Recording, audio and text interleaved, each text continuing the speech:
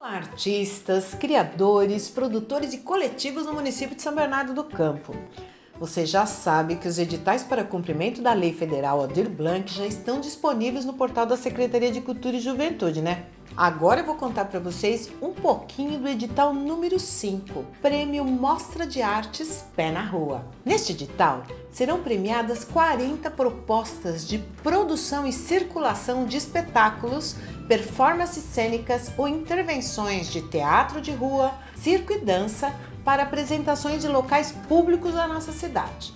As premiações deste edital vão de 5 a 15 mil reais dependendo da sua classificação.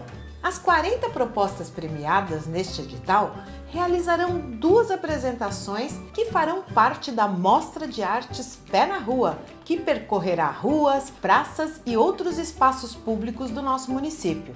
Primeiro você vai checar lá no edital toda a documentação necessária, separar tudinho e elaborar sua proposta. Você não pode esquecer de colocar o título, descrever, justificar colocar seus objetivos, contar por que, que essa proposta é bacana, como ela vai ser realizada e demais informações sobre o seu projeto. Ah, mas presta atenção, as inscrições vão até o dia 8 de novembro.